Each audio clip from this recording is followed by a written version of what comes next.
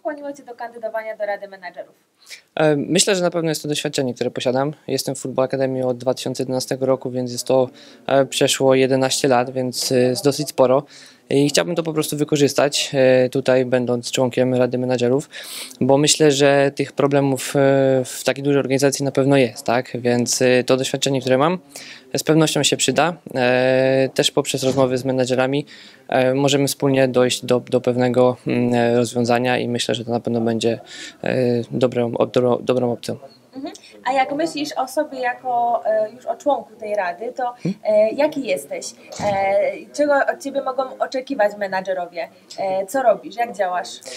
No, działam tak jak, tak jak działam. Myślę, że to wygląda bardzo dobrze. Na, pe- na pewno menedżerowie mogą ode mnie liczyć na wsparcie. Tak? No to właśnie doświadczenie, które zawsze podkreślam, z chęcią się z nim podzielę, więc myślę, że każdy menadżer, który by chciał uzyskać informacje, może do mnie śmiało zadzwonić. Myślę, że mogę być na niego wsparciem i, i pomocą. Tak? Masz już jakiś pierwszy pomysł, jakąś inicjatywę, którą chciałbyś wdrożyć?